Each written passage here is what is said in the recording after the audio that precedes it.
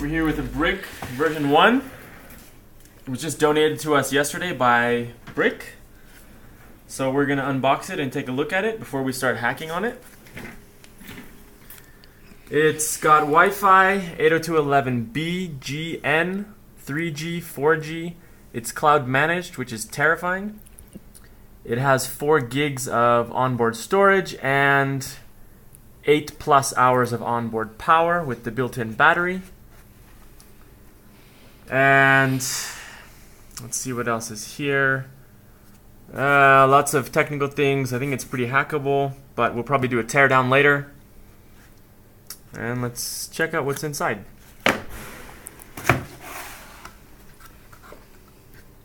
Sufficiently hipster.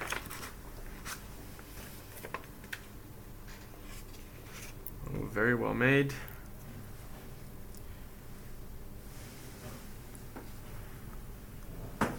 The font sucks on these thingies, but um, looks really good actually.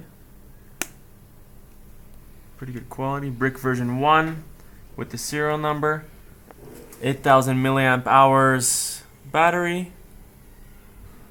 Designed in Nairobi, Kenya, manufactured in the USA. It's pretty good.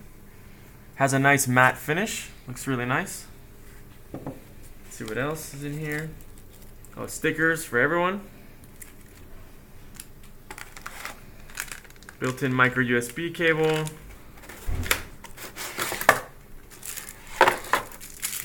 This is a extra antenna, external antenna. And that's it, no headphones. okay, so stay tuned. We're probably going to hack on it later, try to build it, upgrade it, take it apart, and write a bunch of blog posts about it.